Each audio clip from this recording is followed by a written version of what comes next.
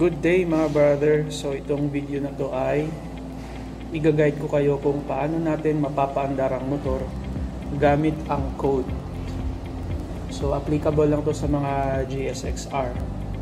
So pag halimbawa naubusan ng battery or nawala yung mismong remote ng GSXR, problema natin yun kung paano natin mapapaandar yun. So gamit ang code, mabubuksan natin yung MC natin. So una, so ipapakita ko lang is ito, hindi na naka-activate yung ignition switch ko kasi nilayo ko yung remote. Malayo sa akin yung remote, mga 2 meters away, wala na yung remote. so, so una, lulong press lang natin ng medyo matagal. Pag nag-blink, bitaw, long press ulit. So, 3 times ito. So, pangalawang blink, bitaw ulit. So, pangatlong long press, magbi-blink yan ng medyo matagal. So, bibitawan natin. Pag nag-blink na siya ng isang beses, i-in natin yung unang code. Tapos babasahin ng system yan kung tama. Kung tama, mag-blink yan ng dalawang beses. So babasahin ulit niya ng system. Kung tama, mag-blink siya ng tatlong beses para sa pangatlong digit ng code.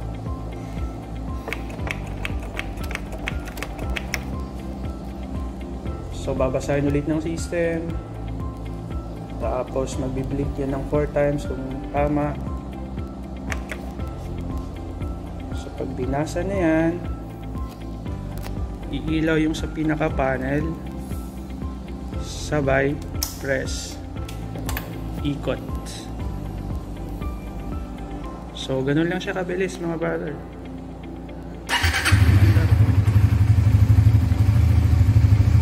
Okay?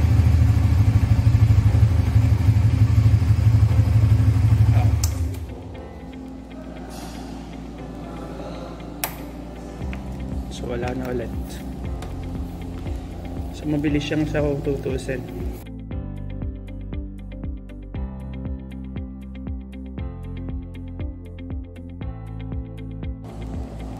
Good day mga brother. So itong video na to ay i-guide ko kayo kung paano natin mapapaandar ang motor gamit ang code. So applicable lang to sa mga GSXR.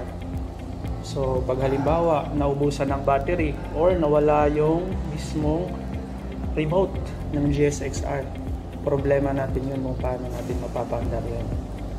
So gamit ang code, mabubuksan natin yung MC natin. So una, so ipapakita ko lang is ito, hindi na naka-activate yung ignition switch ko kasi nilayo ko yung remote. Malayo sa akin yung remote, mga 2 meters away, wala na yung remote. so, so una, lulong press lang natin ng medyo matagal. Pag nag-blink, bitaw, long press ulit. So 3 times ito, So, pangalawang blink, bitaw ulit. So, pangatlong long press, magbi-blink yan ng medyo matagal. So, bibitawan natin. Pag nag-blink na siya ng isang beses, i-in natin yung unang code. Tapos babasahin ng system yan kung tama. Kung tama, mag-blink yan ng dalawang beses. So babasahin ulit niya ng system. Kung tama, mag-blink siya ng tatlong beses para sa pangatlong digit ng code.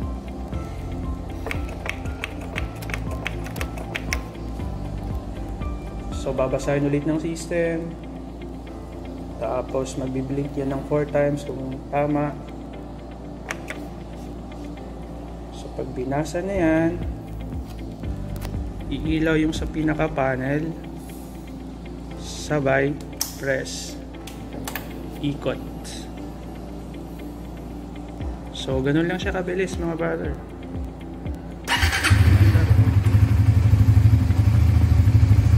Okay?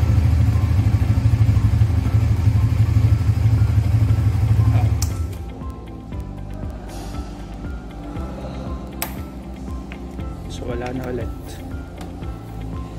So, mabilis siyang sa kung tutuusin. Sa mga hindi pa nakapag-subscribe sa channel ko, so huwag mahiyang i-click ang subscribe button for more notifications at para masamahan nyo na rin ako sa mga video ko, sa mga gala-gala ko gamit ang GSXR ko. So ride safe mga brothers, stay safe. We heal as one. Pabuz.